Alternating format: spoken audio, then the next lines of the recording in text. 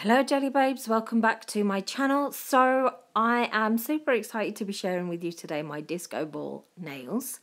So I have already done the prep work that you do for um, applying gel polish. Uh, I'll leave a video on that if you're unsure about how to go about doing so. Um, and I'm applying this um, silvery gel polish as my base. Um, and obviously because it's gel polish it's going to need to go underneath my lamp. I will put instructions on the screen for how long you need to do so. You can no doubt hear from my voice, um, I call it the uh, sexy husk. uh, it really isn't sexy, it sounds dreadful so I might not talk as much as I normally do in my videos because I would imagine that this would get on your nerves. So I'm going to be using this fabulous chameleon glitter um, for the disco nails look. I have done a review on some of their gorgeous glitters. This is one of their new ones. I'll also leave that a video link to that if you've not seen it. So I'm just going to pop some music on now while I apply the glitter.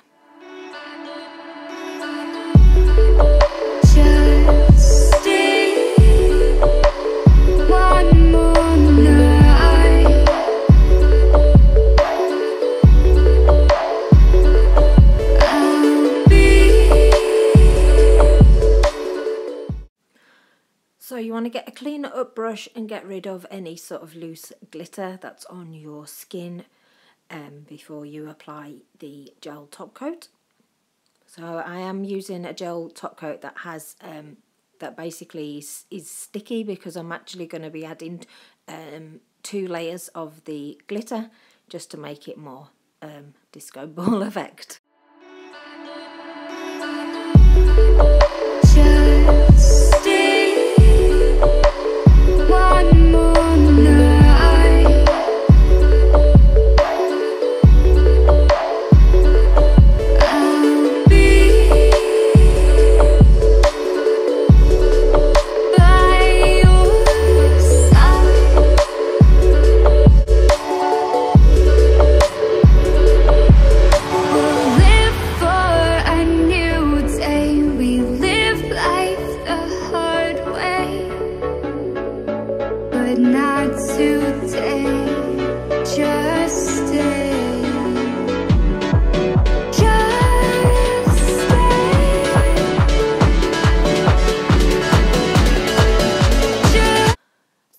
Actually going to apply two layers of gel top coat just to make sure that it's a nice smooth finish and just to add that little bit of extra sparkle.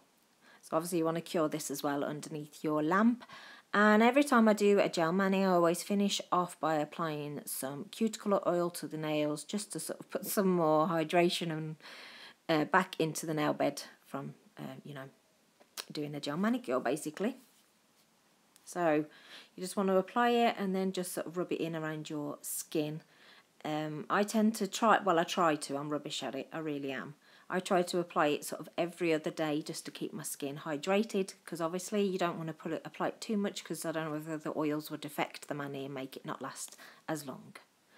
So here is it underneath my macro lens. It is super, super gorgeous and it does properly sparkle as the light catches it as it would if it was a disco ball. So I really hope that you like this design, Jelly Babes.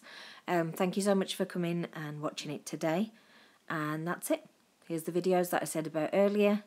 And take care. Bye.